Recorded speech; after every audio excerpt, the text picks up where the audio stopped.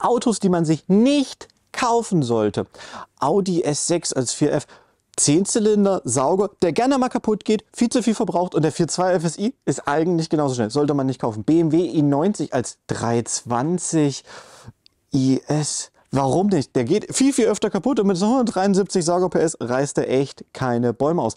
Hammer H2. Im Gegensatz zu einem G63 kann der nix, verbraucht unendlich viel und du hast nicht mal Platz drin. Einziger Grund, so einen zu haben, du besitzt ein Solarium oder ein Fitnessstudio. Und dann Phaeton V10 und Touareg V10. Viele Steuern, Abgasnorm, alles zugebaut. Und der Sechszylinder Diesel ist viel, viel besser. Es gibt keinen vernünftigen Grund, so ein Auto zu kaufen. Genauso wie beim Pluriel von Citroën. Das Dach wird immer undicht, die Getriebe sind eine Katastrophe und du wirst immer Probleme haben. Bei einem Auto, was doch nicht mal jemand cool findet. Das wären die ersten Tipps für Autos, die man nicht kaufen sollte.